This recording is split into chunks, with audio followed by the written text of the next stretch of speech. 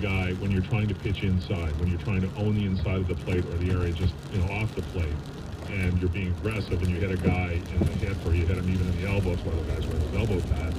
Uh, that that's going to happen. Sometimes it's going to happen intentionally. Sometimes it's going to be a close call when you're trying to win that part of the plate. Sometimes it's, that guy's going to miss. You throw behind someone's head. That's different. Sure. You know, you don't. I rarely have pitchers thrown behind someone's head by accident, and the consequences of that. Yeah, look, it's fair. If you hit the hand and break your hand, could wreck somebody's.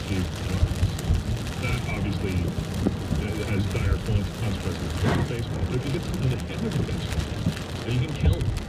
So players take it seriously when you throw, and that you know the etiquette of you know, eye for an eye, tooth for tooth does not include throwing guys'. You know, that is not. I don't think anybody thinks that's how you play baseball.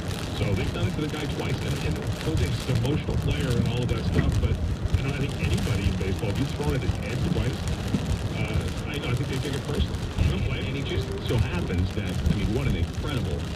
People say that clutch isn't a thing. Um, teams that has wheeled home runs.